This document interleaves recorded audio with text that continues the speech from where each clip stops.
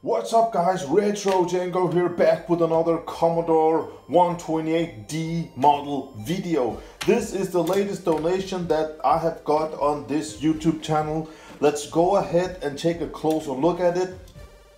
But before we do anything, before we give it power, I don't know if it works. This one hasn't been connected for many, many, many years. So what we're going to do is we're going to disassemble everything and make sure that, that everything is okay inside the PCB board and then give it some power.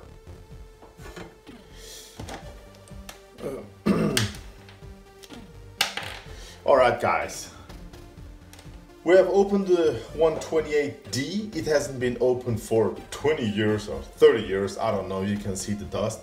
Now it's a standard 128D board here. We have the built-in PSU here. We have the floppy drive built-in here. And we have got the controller for the floppy drive over here. And as you can see, these chips, the 6526 CIA chip is from 21st week of 1986, the 6502. So the floppy drives had their own computer system boards built in. That's why a 1541 uh, floppy drive did cost the same amount as a Commodore 64. It was crazy back then.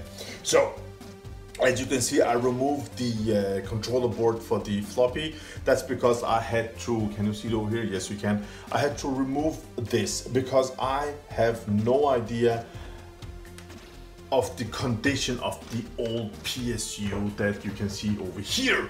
So what we're going to do, we're gonna do the boom test. I'm just gonna turn it on now. After 30 years. Okay, the fan is working.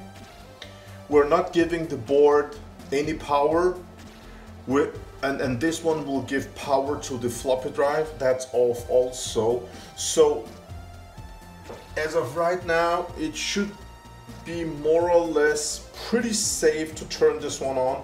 I'm just gonna, I wanna make sure the 12 volt is perfect, but the 5 volt, it's really important that it's 5 and not 7. So what we're going to do is actually we're going to give this one some ground on the black over here and the red one should be 5 volt so let's see uh, what it says.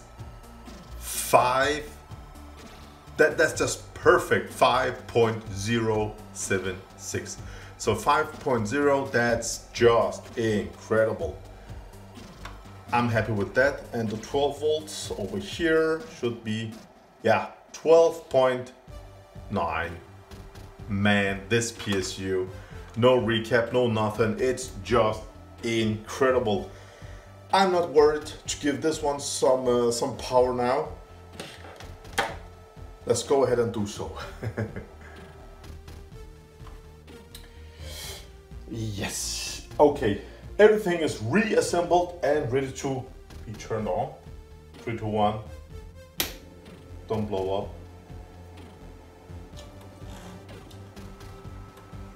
We have a picture.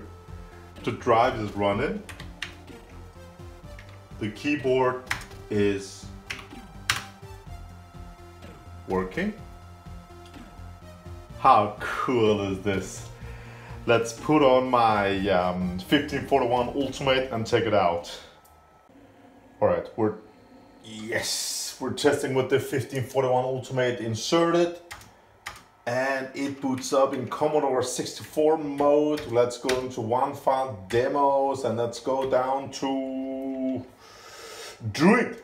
Yeah, and let's run that. And if you like to tinker around with stuff like this, if you like stuff like this, visit PCBWay.com. PCBWay.com offers a wide range of services like CNC machining, 3D printing, sheet metal fabrication, injection molding, and amazing PCB production. You can let PCBWay build your projects as a do-it-yourself solution or just a complete build solution check out the description down below for much much more info the cool thing about PCBWay is you can send in your projects or you can check out all the different projects for retro computing, retro PCs, Commodore 64s, Amigas. They have got so much stuff in there already ready to go. So go in and check out PCBWay.com. Fully, fully recommended. I love that company. Okay, so the the uh, Commodore 128 do turn on. That's beautiful. I inserted my favorite turbo card. That's called KCS Turbo Cartridge from 1985. And we're gonna take one floppy drive here. Now this Commodore 128 is a donation by Klaus. I love you, brother. And this is Armalite. And let's go up and say load. I haven't cleaned the drive yet. I haven't done nothing. We will make another video showing how to disassemble everything and, and clean and make it super nice. But I will do that when it's summer. I will uh, retro it out in the sun. I, I don't use chemicals and stuff like that. Now, let me talk a bit about the Commodore 128D. Oh, was that it? I think something's wrong because that was a few seconds, guys. Okay. Let, just give me a second for uh, talking about the... that was fast! uh, space. Alright. So that's cool. I haven't done nothing with it. Just check the power and that was about it. Now, do I like the Commodore 128D? Uh,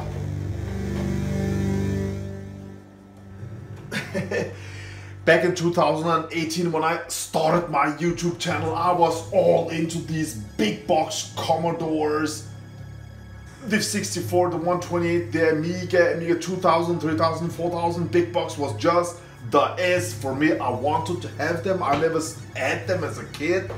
But today, do I like the Commodore 128? Do I use it?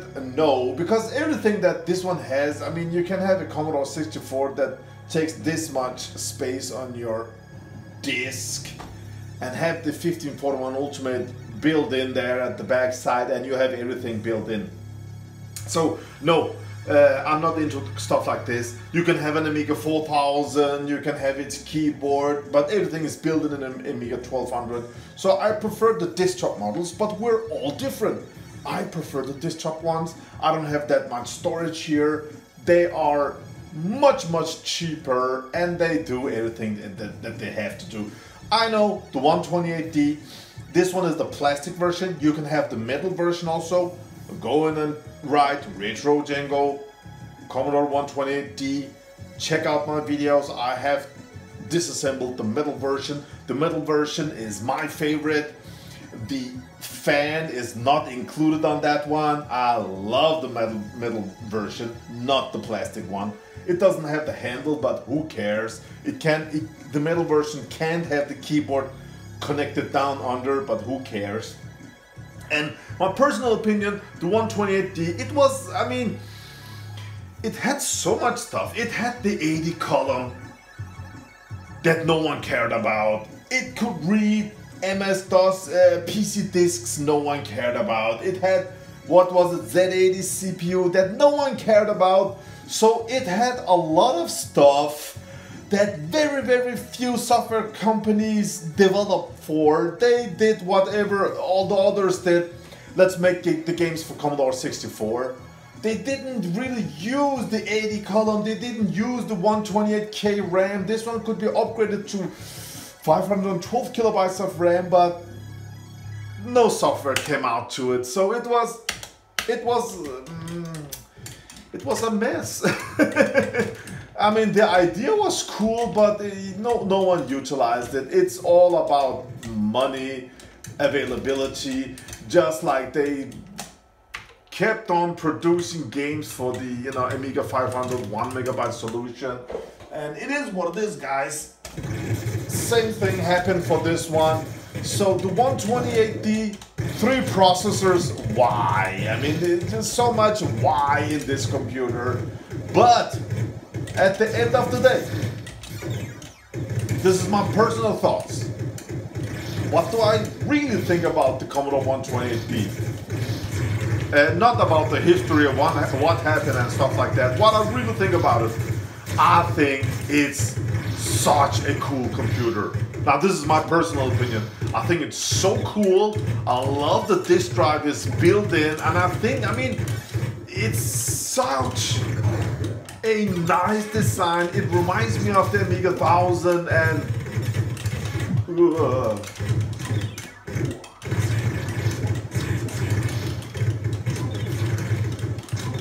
man, these Commodore 64 games, the sprites can just disappear. When you hit the targets, it doesn't...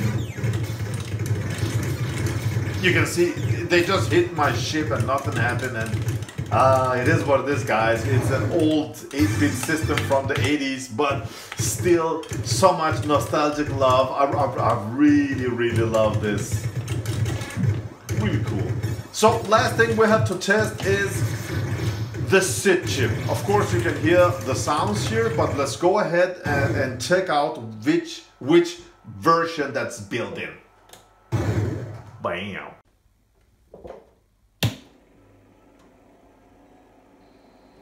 Yes. All right. So let's just go in and choose music and uh, go down here and see if it's the 6581 or the 5550.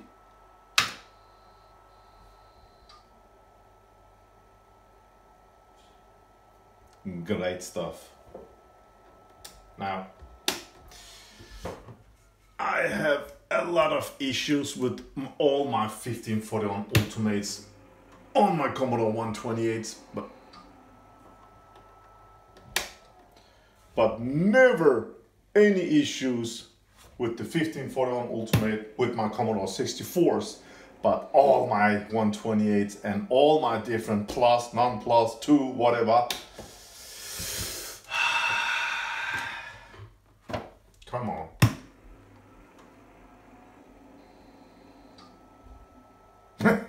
Almost. Play. No. I don't know why, man. And I, asked and I asked about this on a Facebook group, and everybody said, "No, I never had issue with the 128." Oh. But my D model in plastic, my D model in metal, my disc top model 128s. I have also filmed three years back. Oh, it almost worked. oh, oh, oh. Let me just clean the cartridge and try again. Come on. Come on. Yes. Guys, I have cleaned, cleaned, cleaned, cleaned all my other cartridges works perfect okay and this is uh, sometimes it works sometimes it doesn't. I don't know why. I will i will actually put this video on the 1541 ultimates uh, facebook group. I love that group. I love the 1541 ultimate. It's the best. Yeah.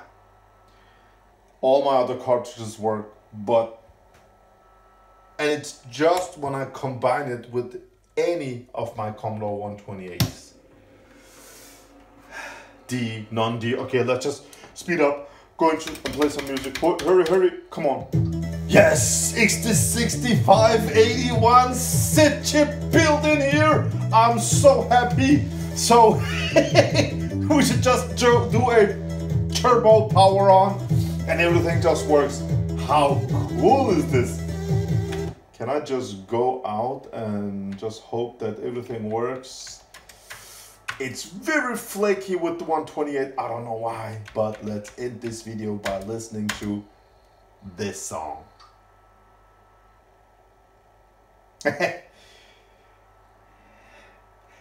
Thank you for watching, guys. Yeah. Have a great day out there. Bye.